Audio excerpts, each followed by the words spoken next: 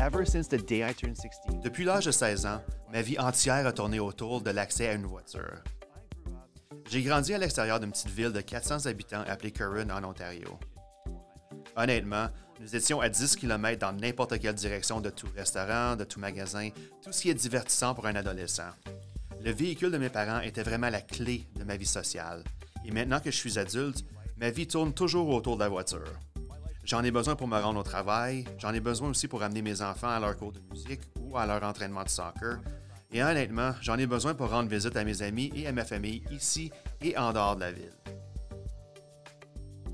J'ai seulement conduit que des véhicules à essence. Mais avec cette volonté mondiale de réduire notre empreinte carbone, j'aimerais en apprendre le plus possible sur ces véhicules. Je veux savoir s'ils sont vraiment écologiques, sont-ils sécuritaires, sont-ils fiables, comment se rechargent-ils et, et tout ça. J'ai un ami, Yves Mador, qui est expert en véhicules à zéro émission à Ressources naturelles Canada. J'espère qu'il pourrait nous expliquer pourquoi ces véhicules électriques et ces véhicules à zéro émission sont si formidables. Alors, allons-y. Yves, comment ça va? Très bien, toi? Très bien. Merci beaucoup pour ton aide. Le plaisir est le mien. Parfait. Alors, c'est un véhicule électrique? Oui, c'est un véhicule électrique hybride rechargeable. Il y a une pile à l'arrière qui me donne de l'autonomie en mode électrique seulement. Il y a aussi un moteur thermique qui, sur des longs trajets, peut s'allumer ou lorsque je n'ai plus d'autonomie électrique. Il peut s'allumer et me conduire pour le reste du trajet. C'est comme le meilleur des deux mondes? Oui, exactement. D'accord. Il existe différents types de véhicules électriques, n'est-ce pas? Oui. La première chose que tu vas remarquer est la plaque verte, qui signifie que je peux rouler sur les voies réservées aux véhicules à occupation multiple, même si je ne suis qu'un seul occupant. Puis sur le côté ici, il y a le port de charge. C'est là que je peux charger mon véhicule. C'est la grande différence entre un véhicule hybride conventionnel. Ces véhicules ont des piles plus petites et les batteries sont là pour aider le moteur à essence. Ici, euh, les batteries de ce véhicule, dans l'hybride rechargeable, vont en fait conduire le véhicule. Le moteur à essence agit alors comme un générateur qui recharge les batteries et qui vous permet d'aller plus loin. Ensuite, il y a des véhicules électriques complets, c'est-à-dire une batterie beaucoup plus grande, pas de moteur à essence et une autonomie aussi beaucoup plus longue en mode électrique seulement. C'est quoi la sensation de conduire un véhicule électrique comme celui-ci? Je pense que c'est comme une voiture normale, mais beaucoup plus silencieuse. Mais pourquoi ne pas faire un tour et me dire ce qu'il en est? Tu vas vraiment me laisser conduire ta voiture? Absolument. Vraiment? T'es un homme courageux. J'ai une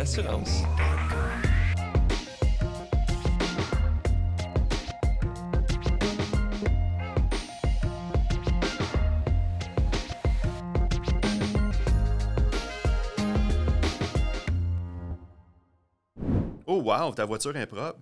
Merci. J'aime prendre soin de mes jouets. Bon, le pied sur le frein et nous allons appuyer sur le bouton de démarrage. Tu peux mettre euh, le sélecteur de vitesse sur D pour conduire. Oh, c'est un cadran? Oui, c'est un petit cadran qui tourne. Génial. Allons-y. Wow, c'est c'est silencieux, c'est fou. C'est la première chose que les gens remarquent vraiment. C'est si silencieux. Il n'y a pas de vibration du moteur thermique ou autre. Wow, les freins. Le freinage, il te faudra environ une petite minute là, pour t'y habituer. Parce que la plupart des décélérations sur ce véhicule se font grâce au freinage par récupération, lorsque tu ralentis, lorsque tu es en roue libre pour décélérer, alors que tu appuies sur le frein, cette énergie est transformée en électricité et est utilisée pour recharger les batteries. En fait, l'une des choses intéressantes est qu'une fois que tu es arrêté complètement, tu obtiens une évaluation de ton freinage. Wow. 91% c'était ton score de rupture. C'est un A. C'est un A, euh, mais tu vas diminuer un peu mes stats. Vraiment? Ce que tu veux, c'est de rouler au débraillé autant que possible. C'est quoi ton classement actuel? Je n'ai pas vérifié depuis un moment. C'est une des choses. euh, quand je me retrouve avec mon père, j'ai grandi entouré des voitures. Il n'y a pas si longtemps, c'était bon d'accord. À quelle vitesse ce véhicule peut-il accélérer? Maintenant, nous parlons de quelque chose de différent. Nous parlons de notre score d'éco-freinage, de l'autonomie de notre véhicule électrique et tout le reste. C'est pour ça que j'utilise l'application. Je vois. Tu seras heureux d'apprendre que je viens d'obtenir 100%. C'est bien. Il n'y a pas d'autre option que la descente en ce moment. Ouais, simplement maintenir. 100%. Voyons, 100%. Je suis déjà compétitif après seulement une minute. Ouais, c'est amusant. J'aime bien faire ça. Pour ce véhicule, étant donné qu'il s'agit d'un hybride, quelle est la part de l'énergie purement électrique? C'est un hybride rechargeable. Purement électrique, la portée de la cote Energuide est de 35 km. Maintenant, cela varie beaucoup en fonction de ton style de conduite, un certain impact en fonction de la température et de l'utilisation de la climatisation. S'il fait moins 30 degrés et qu'il fait vraiment froid dehors, j'obtiens environ seulement 16 km d'autonomie en mode électrique seulement, juste à cause de la quantité d'électricité nécessaire pour garder l'habitacle chaud. Mais en été, je peux atteindre une autonomie d'environ 50 km lorsque je n'utilise pas l'électricité des batteries pour chauffer la cabine. La bonne nouvelle, c'est qu'avec cette voiture électrique, je peux régler pour que l'habitacle soit chaud lorsque je quitte la maison le matin. Vraiment? Oui. Ensuite, je peux dire, bon, à tous les matins à 7h15, l'habitacle est à 21 degrés au moment où je monte dans la voiture. Cela n'épuise pas l'autonomie de la batterie car je suis branché au réseau de la maison. Wow, c'est un énorme avantage. Avec l'infrastructure dont nous disposons actuellement, pourrions-nous conduire d'Ottawa à, je ne sais pas, Victoria, où il fait en réalité beaucoup plus chaud aujourd'hui? Peut-on y aller en roulant principalement en mode électrique? Il y a beaucoup d'histoires en ligne sur euh, des personnes qui ont fait des voyages à travers le pays avec des véhicules électriques. L'un des engagements du gouvernement du Canada est de mettre en place un réseau de chargeurs rapides d'un bout à l'autre du pays. Tu les vois déjà apparaître. Nous avons également une carte dans le site web de Ressources naturelles Canada qui présente tout cela, afin que vous puissiez planifier votre voyage. Vous pouvez dire, bon, je vais de cette destination à cette destination. Vous pouvez voir toutes les stations de recharge intermédiaires et planifier votre voyage en conséquence. Donc absolument, pour les longs trajets, pour les courts trajets, tu les conduis de la même façon qu'une voiture normale. Comment se présente l'hybride sous le capot par rapport à un moteur à combustion interne? Où est la batterie? Qu'y a-t-il de différent? Pourquoi n'allons-nous pas rendre visite à nos amis de Transport Canada pour ouvrir le capot et regarder en dessous et de montrer quelques batteries et à quoi elles ressemblent? Ça a l'air génial. Allons-y.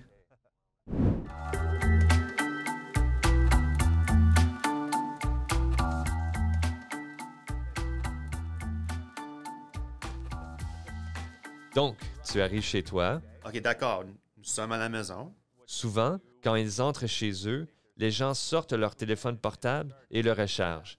Eh bien, c'est la même chose avec cette voiture. Lorsque vous achetez un véhicule électrique, il est livré avec son propre chargeur. C'est ce qu'on appelle un chargeur de niveau 1, car il utilise simplement une prise murale standard. On s'approche, on ouvre le port de recharge. Il s'agit d'une norme.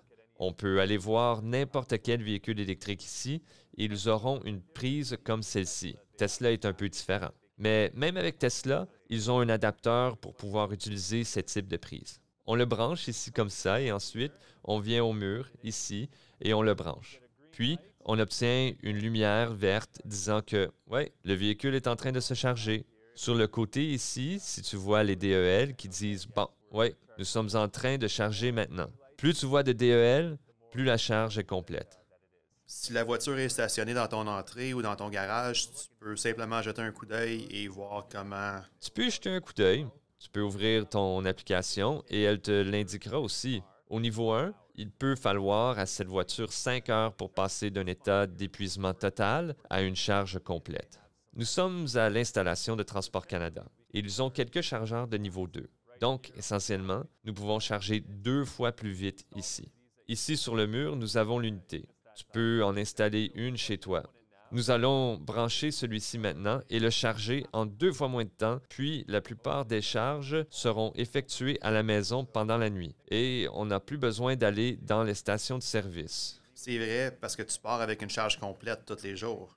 Bon, maintenant que nous sommes en train de charger, je suis vraiment curieux de voir ce qu'il y a sous le capot. Est-ce que c'est différent dans un VE ou un hybride?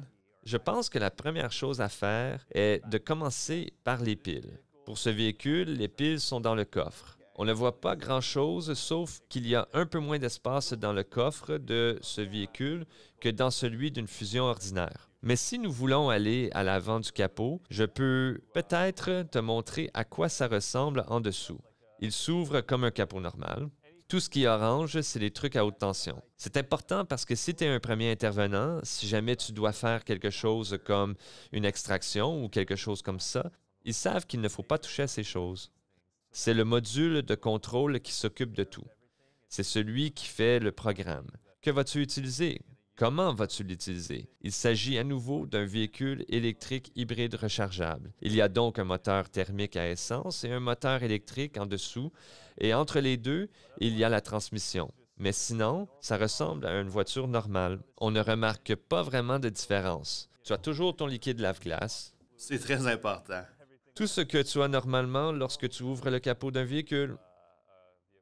OK, d'accord. Alors, nous sommes à Transport Canada en ce moment, n'est-ce pas? C'est un grand garage. Quel est cet endroit vraiment? Nous pouvons voir ici que nous avons quelques véhicules électriques. Nous avons le véhicule électrique à pile combustible. Pile à combustible, qu'est-ce que ça veut dire? Cela signifie qu'au lieu de charger les batteries, le véhicule produit son électricité à bord grâce à la pile combustible. Il utilise l'hydrogène pour créer de l'électricité qui alimente les piles, puis le véhicule. Donc, pour le remplir, il suffit d'ajouter de l'hydrogène? Oui, exactement. De plus en plus de stations de service à hydrogène sont mises en service. Il y en a une à Québec en ce moment. Il suffit de remplir presque comme une voiture normale. C'est une nouvelle technologie, n'est-ce pas? La pile combustible existe depuis longtemps, mais pour voir les véhicules sur la route en cours d'essai, elle est relativement nouvelle. L'hydrogène, c'est sécuritaire? C'est une excellente question. Et même lorsqu'il s'agit de véhicules électriques, vous avez de grandes piles à l'arrière. Sont-elles sécurisées et tout? Et le réservoir est très bien construit. C'est très sécuritaire. Et nous ne pouvons pas oublier que, hé, tu sais quoi? Tous les véhicules à essence ont un gros réservoir d'essence flammable en plastique. Tous ces véhicules ont passé les tests de collision et sont avérés dignes de circuler sur nos routes au Canada. C'est bien. Ah, c'est un VE, n'est-ce pas? C'est un véhicule entièrement électrique.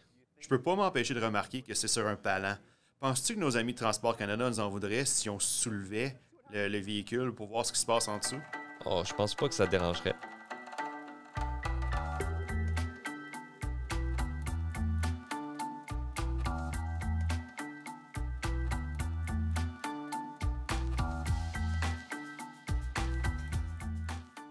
Tu as porté tes bottines, n'est-ce pas? Oh, bien sûr. D'accord. Ce sont des caractéristiques vraiment géniales que nous allons voir ici sous le véhicule. Wow! C'est de l'aérodynamique. Tu ne dois pas laisser des choses ouvertes comme un gros système d'échappement ou quelque chose comme ça, où la chaleur est un problème.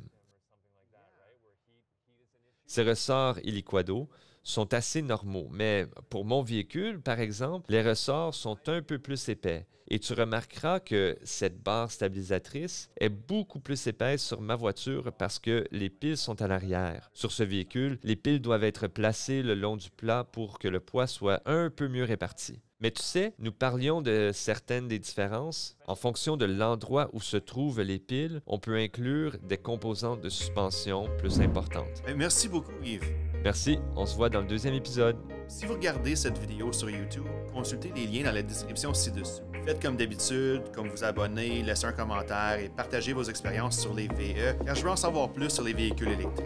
Je tiens à remercier nos amis de Transport Canada de nous avoir permis de filmer dans ce lieu magnifique et assurez-vous de vous abonner pour regarder le deuxième épisode.